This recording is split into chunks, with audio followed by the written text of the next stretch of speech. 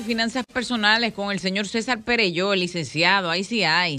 Buenas noches a todos los que nos escuchan por aquí y por allá. Ahí sí hay. Sí, gracias, gracias. La finanza Este, vive. Sí. ¿Qué es esto? Bueno, ¿Cómo eh, ganamos un premio gato? No hay manera. No hay forma, ¿verdad? contabilidad. Sí, la, eh, contador, no economista, ¿verdad? Para que no me vayan a, a- a acabar. Siempre tengo que hacer la aclaración. Gracias por Va por recibirme. ahí, va por ahí.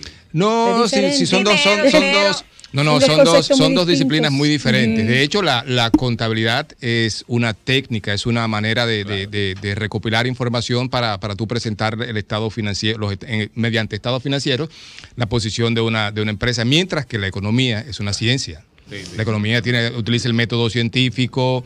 Eh, yo siempre tengo mi, mi- mi penita con los economistas porque los economistas tienen que lidiar con una de las variables más difíciles del mundo, si no la más difícil, que es el ser humano.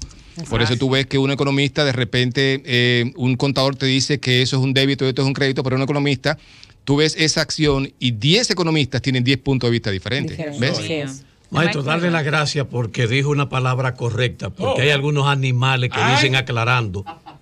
Y usted acaba de decir, para diferenciar entre contador y Y Economista. economista. economista. Usted dijo, de, de- de- tengo que hacer un- una, aclaración. Una aclaración. Hay algunos animales que dicen No, no, aclarar. pero no eso ya, no, pero no, maestro. no, No no, cruel, no, no, ese- mira, si tú supieras que dentro de mis, dentro de mis grandes deficiencias aceptadas públicamente y por aquí lo hago, está eh, el, el- el manejo del lenguaje. Yo cuando era pequeño nunca, yo odiaba la gramática y, y hoy día me, me- Ay, me me- encantaba. sobre todo, sobre, sí, hoy me, me odiaba, la odiaba y, y hoy día me arrepiento de, de haber, de haber, claro. de no haber puesto más atención a eso y tengo que poner mucha atención a las palabras que digo. Por ejemplo, mi mujer, que algunos de ustedes la pueden escuchar eh, a través de la emisora Raíces, en la, eh, la locutora de Raíces, es una mujer que se ha dedicado a la gramática, pero de una manera.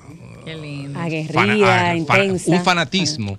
Sí, una Y esa es, es- sí, sí, sí, la, la, la, la adicción que ella tiene por la gramática es, es, es terrible. Y siempre vive corrigiéndome cosas que, que, que yo digo mal. Obviamente me, he mejorado mucho. Pero yo, enti- pero- yo te entiendo que tú quieres eh, eh, distanciarte del término economista porque tengo entendido que los economistas son aquellos que duran seis meses explicando una cosa y luego seis meses explicando por qué no pasó. Bueno, esos son, esos son, no, no, eso es, es lo que te digo, es lo que te digo. Un economista plantea eh, un estudio serio de una situación determinada, Sí. pero con la vari- con tantas variables que tiene que a menudo su posición o su tesis o su teoría no sencillamente no no no se da. Es tan, es tan así que y por eso yo siempre le digo a la gente, miren, porque ustedes vean que una persona triunfó eh, en un negocio o porque una persona eh, le fue bien en una determinada actividad, no crean que esa persona puede transmitirle a usted eso. Es decir, yo mi discurso de toda la vida de finanzas personales ha sido cómo salir de la olla. Punto. Y ya. Yo no te puedo decir cómo hacerme rico porque yo no sé hacerme rico. Si yo lo supiera, no te lo dijera a nadie. ¿Ves? ¿Por qué? Porque la manera en que tú te hiciste rico, ojalá que sea así, Diana, ¿verdad? Amén, amén, no me recibo, funciona a mí.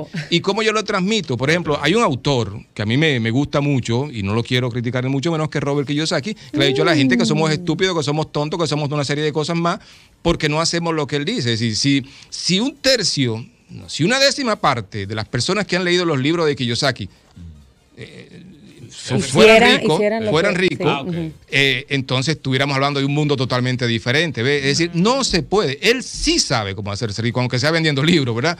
Pero eh, no es que lo puede transmitir. Porque incluso, y llegando al, al ter- al- al- al terreno de las finanzas personales, definitivamente cada quien nace con una, con una, ¿cómo se llama esto? Con una inclinación hacia la organización o no. Con una inclinación hacia eh, los negocios o no, con una inclinación hacia la gramática o no. Ok, que tú puedes desarrollarlo, perfecto, puedes desarrollarlo, pero hay una, hay una inclinación, hay, hay una cosita que nació contigo de, de- Yo creo de- que hay una condición para ello especial. ¿Mm? Hay una condición especial porque todos no, ten- no tenemos ni el mismo, la misma manera de organizar nuestras finanzas, ni los mismos proyectos, No. mucho menos, ni esa capacidad que tú tienes de ser creativo. Hay gente que de cualquier cosita te arma un negocio. Mira, eso da dinero y lo podemos hacer así, así, así. Otros que definitivamente no tenemos esa condición. Bueno. Entonces no se da. Hoy día se habla de muchas inteligencias, inteligencias matemáticas, inteligencia para las artes, inteligencias para, para la música, hay muchas inteligencias. A propósito de inteligencia, y volviendo a las finanzas personales, que nos fuimos un poquito lejos. Hoy quiero hacer una- un, un resumen de las últimas noticias acerca de las criptomonedas, que me, alguien me pidió que, que- que- que hiciera algo al respecto. Mira, hay varias noticias. Primero, se anunció la semana pasada que Litecoin, una de las criptomonedas más famosas, había hecho un, un arreglo con um, Walmart para que Walmart aceptara, aceptara estas monedas en transacciones. Es decir, tú ibas a Walmart y ibas a comprar con, con Litecoin. No es cierto. La compañía que se filtró un- una, nota de prensa a través de un medio, un medio bastante eh, acreditado o, de, o de credibilidad, parece que lo hackearon o algo y la nota de prensa salió y no es cierto. El Litecoin subió un 30% hasta que Walmart lo vio, declaró que era, no era cierto que habían, eh, este, habían a- hecho ese trato y la moneda volvió a bajar. Eso, eso pasó esta semana. Que a propósito, esta misma semana pasada, Christine Lagarde, yo me imagino que se pronuncia así, se escribe Lagarde, que es la... la- Francesa, supongo, Claro, ¿no? sí, la, la del Banco Mundial, eh, de una manera un poquito enfadada, dijo que las criptomonedas no son monedas, son activos. Activos especulativos que sencillamente podemos, podemos comprar, podemos transaccionar, transaccionar Pero o hacer transacciones. ¿Eh? Ella utilizó el término especulativo. Especulativos, muy especulativos, dijo ella. Wow. Y es cierto, Sí. es cierto, porque la- esas monedas, fíjate, el, el- el Bitcoin ha estado subiendo de- desde 20 mil dólares a principio del año pasado, a final del año pasado, subió a 30 mil, subió a 50, casi 60, bajó de nuevo a 30, volvió a subir a 40 y pico, subió a 52 y volvió, Y a, volvió a a, bajar. 48. Todo esto en un lapso de cuánto?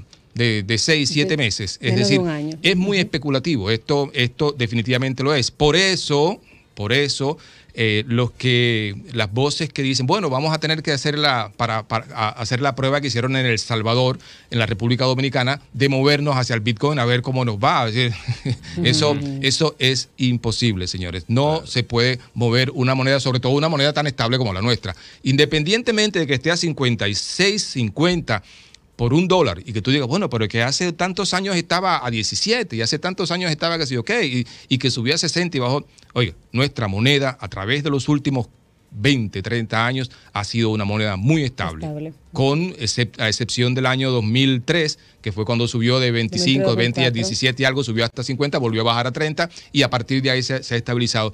Y nos permite incluso a las personas que trabajamos en la planificación y, a, y esas personas que están en el, en el, en el radio auditorio, pueden, que tienen negocios, les permite planificar.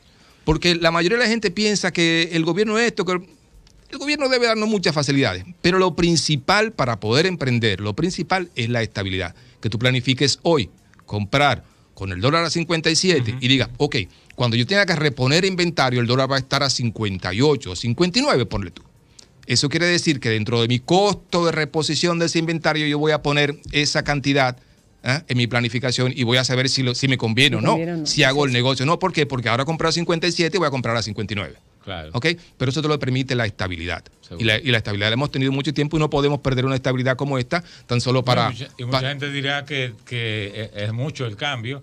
Sin embargo, hay entendidos que han hablado de que es conveniente tanto para la zona franca como para el sector turismo mantener una tasa más o menos así. Sí, y, y hay quienes dicen que, que los, los expertos en Sí. eso, ¿ok? No, no, no yo, ¿ok? Que es bueno dejarlo deslizar. Y si tú te pones a ver Mm. lo que ha pasado en los últimos 10 años, por ejemplo, cómo se ha ido deslizando poco a poco la moneda Poco a poco, y cómo ha ido creciendo la economía Claro. y cómo ha ido creciendo eh, incluso, no podemos hablar de desarrollo porque desarrollo significa ya distribución de la riqueza de una manera en que todos tenemos... que No, ver. no socialismo, sino desarrollo, ¿ok? Para que no me confundan. ¿Eh? No puedo hablar de desarrollo, pero sí de que hoy día tenemos un estilo de vida muy, pero muy diferente al que hacía 20 años atrás. La gente se queja y se queja y se queja, pero yo que tengo 58 años recuerdo perfectamente. ¿Cómo? Pero se ve joven. Sí, pero me veo- más me joven, veo, Más me joven, veo, está ¿verdad? más joven, está más joven. Oye, los que tenemos la edad mía, los que, los que eh, estamos en esta edad, recordamos perfectamente la aldea que era esta, este país. Esto era una aldea. Claro. Señores, esta ciudad era una aldea hace, hace 20, 25 años atrás. Y mira lo que hemos llegado a un punto de que incluso el crecimiento nos ha tragado. Así como se está- se- el volcán se está tragando la isla esa en, Ay, sí, sí, las la- Canarias, es que el el tránsito nos está y el crecimiento nos está el tragando a nosotros. crecimiento no, no es proporcional a lo que tenemos en Adelante. este momento. Tenemos una llamada, señor Pereyó. Buenas. 540 165 con el 809. Aquí está el licenciado Salga César Pereyó. Mm. Salga de la olla con Pereyó, lo mejor que, la mejor lección que podemos tener, sobre todo ahora que se acerca la Navidad. Eh, sí, la Navidad se acerca y la, lo, más terrible Ay, de todo esto es que siempre me hacen la misma pregunta, ¿qué vamos a hacer en Navidad? ¿Qué ¿Qué, hago con los en Navidad? ¿Y, de- y Lo- después de Navidad? eh, Ah. bueno, lo- ¿Y después de Navidad? No hay No. dinero, pero yo. Después de no, Navidad no hay dinero. no hay dinero si tú no te has planificado adecuadamente. Mira, una de las cosas, y ahí voy a tomar la, la teoría económica, una de las cosas que define la, la economía es qué hacer con los recursos que tenemos. Y los recursos siempre son escasos. Los recursos siempre son escasos. Yo no sé a ustedes, pero a mí no me sobra el dinero.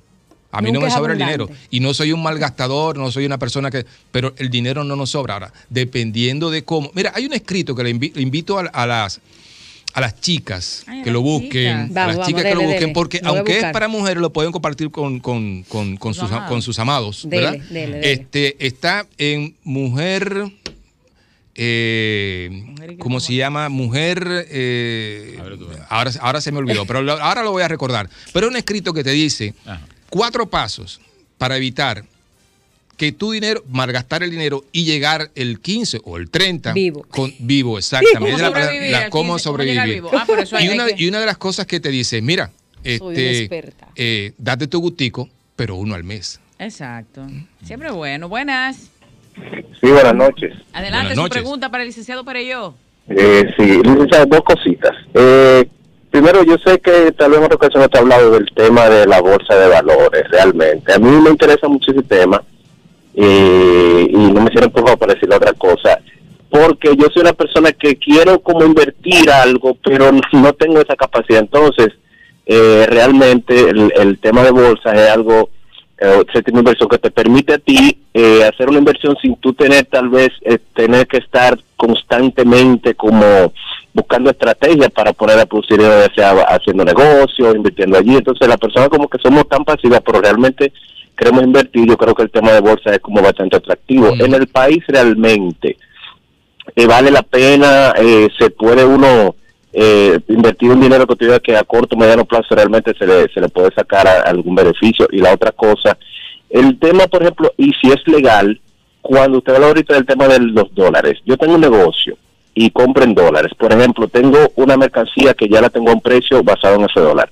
Voy a, a reabastecerme, pero el dólar subió. Lo que se hace generalmente es ya subir el precio de esa mercancía que, que todavía tengo, pero ponerla al precio igual de la mercancía nueva que voy a adquirir. Realmente eso se maneja así, eso es legal, eso es eh, de- debe ser así en el tema de los negocios, porque y sé que realmente así se hace.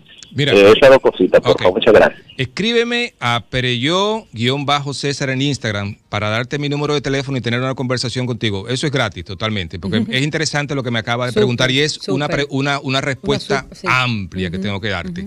Mira, sí, es legal. Claro. Lo único que no necesariamente cuando tú subas la mercancía vas a poder venderla. ¿Por qué? Porque el precio de un artículo no lo determina el costo. El precio de un artículo lo determina el mercado, lo que la gente puede pagarte por ello. Ahora, lo que sí es que dentro de tu reposición, dentro, de tu, ganancia, debería estar el precio de reposición del mercado, de reposición de ese inventario, si te lo permite. No es ilegal. Eso es algo que la, mayoría de la gente hace. Ahora, en otros países hay una cosa que le llaman swap que es un, como un seguro, una inversión que tú haces, incluso en la bolsa de valores, en el que tú te aseguras por ese riesgo cambiario. Aquí creo que no lo hay, no, aquí no lo, no lo tenemos. Te aseguras por ese riesgo cambiario y si el dólar bajó entonces o subió en este caso, la moneda que, que sea, tú, tú no vas a perder, sino que tienes ese seguro. Todavía, todavía se utiliza el método capaz eso para el inventario. PECA no será web o PEPS. Tú dices, Pep. PECA es la de la, la- la de, no, es la de la pesca corrupción. No, no, eso es otra Pero, cosa. Esa es la de la corrupción.